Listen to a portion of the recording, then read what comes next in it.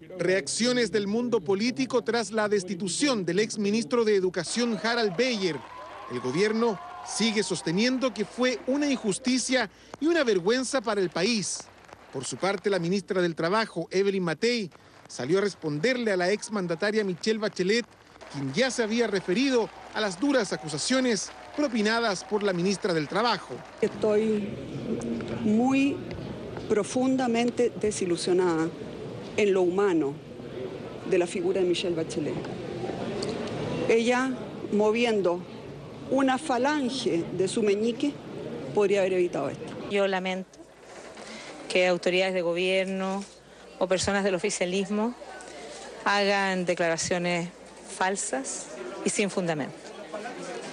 Pero además me sorprende en la ministra Matei, pues ella me conoce bien y conoce a mi familia. Que una decisión grave siempre se consulta con el líder. Siempre. Y si no se consulta con el líder, quiere decir que el líder no es líder.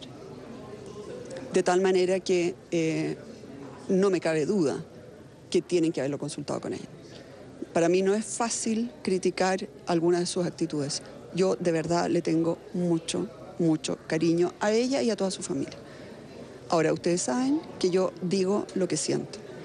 Creo que lo que sucedió con Harald Bayer es una vergüenza, pero sobre todo es una injusticia. Le dijo algo que, que puede ser una importante verdad, eh, en el sentido de que eh, Michelle Bachelet eh, puede haber desarrollado, ya sea por sus acciones o sus omisiones, una, un respaldo a la acusación constitucional en contra de un ministro de Estado como Harald Beyer, que en distintas oportunidades colaboró con los gobiernos de la concertación y colaboró en términos personales eh, con mucha abnegación en el gobierno de la presidenta Bachelet.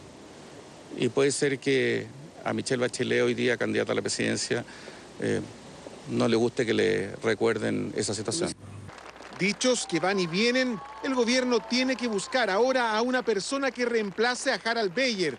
Y uno de los nombres que suena fuerte es el del actual ministro de Economía, Pablo Longueira, quien recepcionó la idea. La verdad es que me sorprende que esté sonando para tantos ministerios, ¿no? Algunos parece que tuviesen como hobby estar eh, proponiendo a los ministros en distintas carteras. El presidente es el único responsable de esa decisión, por lo tanto, esa materia la tiene que resolver él. Lo único que puedo decir es que estoy feliz como ministro de Economía. ¿Disponible? Yo soy un servidor público.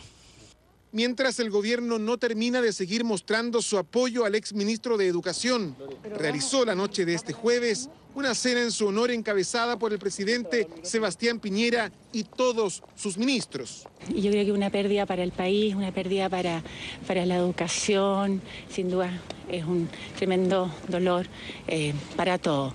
Pero yo creo que esta señal que se ha dado el país no tiene que fortalecer para que cosas como esta no vuelvan a ocurrir nunca en nuestra sociedad. Guerra declarada, según el presidente de Renovación Nacional, el senador Carlos Larraín, entre el gobierno y la oposición tras la destitución del ex ministro Beyer.